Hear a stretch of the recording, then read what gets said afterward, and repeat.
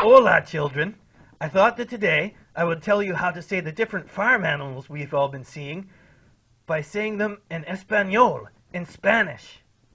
Cow, vaca. Horse, caballo. Pig, cerdo.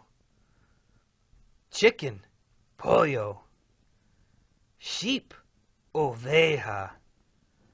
Dog, perro.